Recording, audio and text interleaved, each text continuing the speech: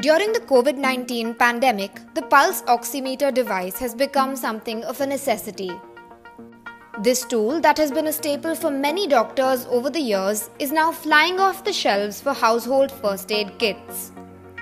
It is non invasive, low cost, and easy to use.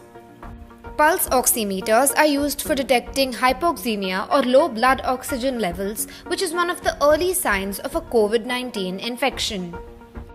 The device is usually clipped onto the user's forefinger.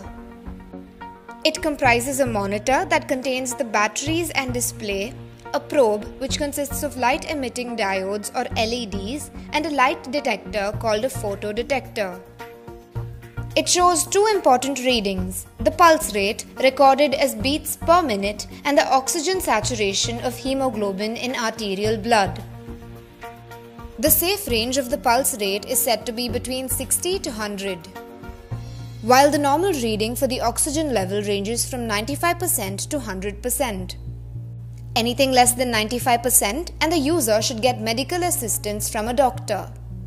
Pulmonologist and chief editor of Lung India, Dr. Virendra Singh, says pulse oximeters are not COVID 19 detectors.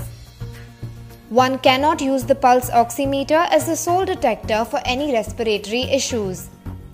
It is only meant to give readings for a small time interval.